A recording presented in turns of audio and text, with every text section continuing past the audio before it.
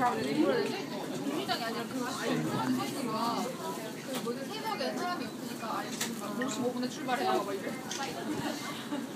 제가 아 알았다고. 거기 이렇게 비싸. 그런 걸렸어 이렇게.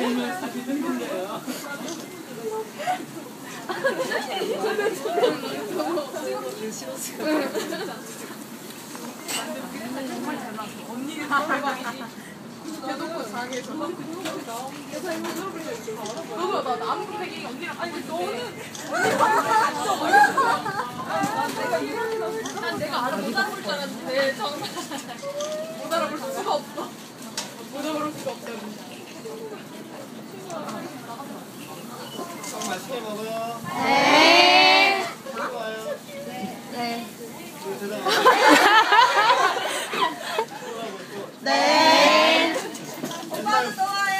맨날 빵만 먹어요, 맨날. 네.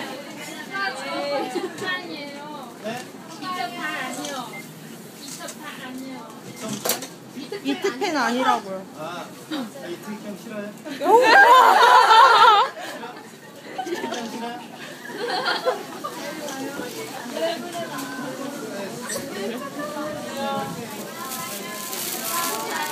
안녕하세요. 어? 바이.